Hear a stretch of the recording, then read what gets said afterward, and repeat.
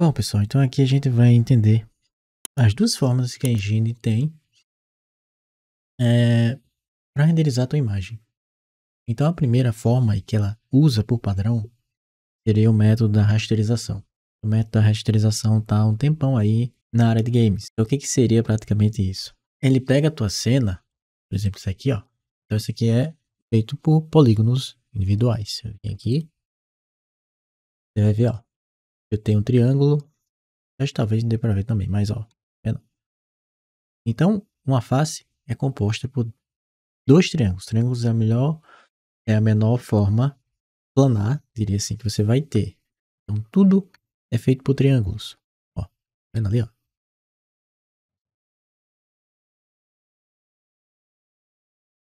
Então, aqui acho que dá para ver bem.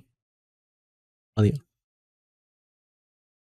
Então aqui, o que, que a rasterização faz? Imagina fazendo um plano, tem um plano da minha tela, aqui, é, ele gera um plano e projeta os polígonos nesse plano, uma forma 2D. Ele está fazendo isso constantemente. Então isso seria a rasterização. Vou deixar aqui uma imagem da NVIDIA, mostra para você mais ou menos como é que funciona esse processo. Você está vendo. É isso, pessoal, essa técnica é usada, eu falei, por décadas. Então, uma engine é um motor, na verdade, todo motor gráfico geralmente é feito para fazer jogos. Então, os jogos têm que ter um tempo de resposta alto. Você apertou para frente, ó, é para estar tá respondendo. Você não pode esperar todo aquele processo de, de um render progressivo para depois ele me jogar a imagem. Não tem como. Então, com essa dependência, essa necessidade, é, foram se criando engines, técnicas com o tempo. E essas técnicas foram melhorando com o tempo. Por exemplo, vamos imaginar assim, é, aqui, sombra de contato. Então aqui, ó, esse moço, puxa ele para cá, ele tem a sombra indireta, quando eu aproximo, ele cria uma sombra de contato ali, ó. Embaixo também, ó. Então isso é um exemplo de algo que foi desenvolvido por décadas, pelo menos no modo de rasterização. É, aqui, reflexo, também, porque não pode ser puro. Não pode ter um reflexo puro porque não tem máquina no mundo que vá suportar isso em tempo real. Seu reflexo rebatendo várias vezes e voltando para você vê. Então essas técnicas foram sendo criadas e aperfeiçoadas por em 30 anos aí já de estrada. A Gine tem desde 98, mas antes, pessoal, o pessoal já trabalhava nisso.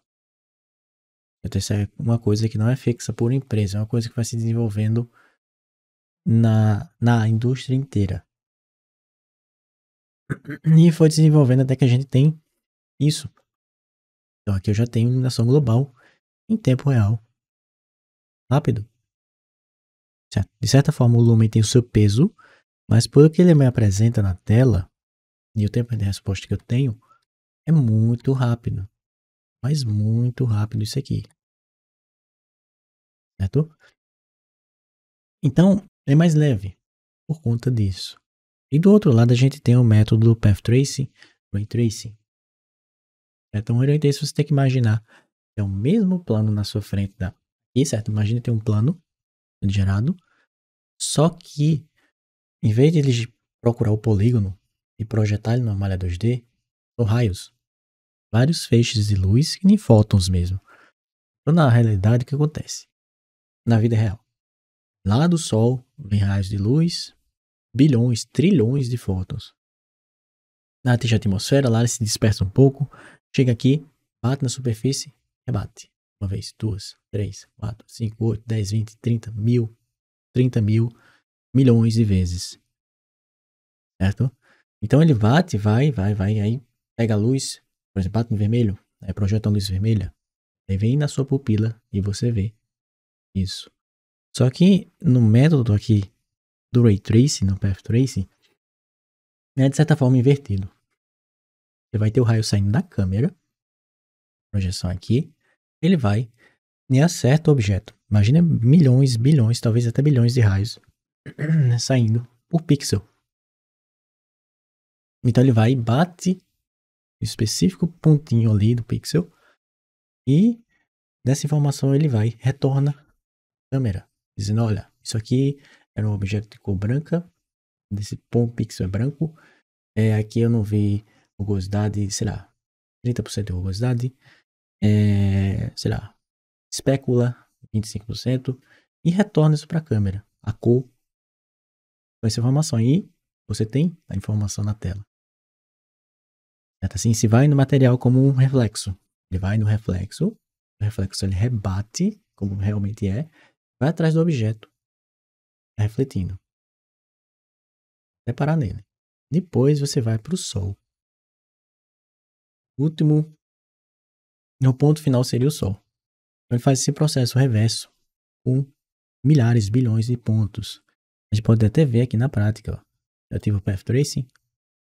Os pontinhos. Tá vendo ali? Então ele gera isso para gerar a imagem. Então você dá para notar por que é mais pesado. Para gerar esses milhares, bilhões de pontos. A forma como eu te expliquei, tu imagina a tua placa de vídeo fazendo isso. É milhões de cálculos que ela está fazendo ali por segundo. Ela está gerando isso. Então, obviamente, vai ser algo progressivo. Você não vai ter o resultado instantâneo. Então, a gente tem nota. Ó, tá? Vai trabalhando, trabalhando até melhorar até certo ponto. Aqui é porque eu pus um limite. Mas você pode deixar sem limite quase. E quanto mais ponto ele gerar, melhor tende a ficar a imagem. Certo? Aqui já está muito boa o Path Trace, mas é algo fisicamente correto. Vai ser o mais próximo do físico. Então você vai ter o Corona, você vai ter o Array, todos funcionam em cima do Path Tracing. E Engine tem ele embutido também. Certo, pessoal? Então aqui eu vou deixar a imagem também para você entender a própria NVIDIA, Ray Tracing, Path Tracing, como é que funciona. Então, obviamente, se você vai criar um jogo, você não poderia estar tá criando assim. Porque mexeu um pouco a câmera, tem um passeio virtual. Certo? Mexeu um pouco a câmera, esculhamba, tem que começar de novo. Então, ainda vai demorar alguns anos, talvez alguma década ou duas, para a gente ter isso instantaneamente.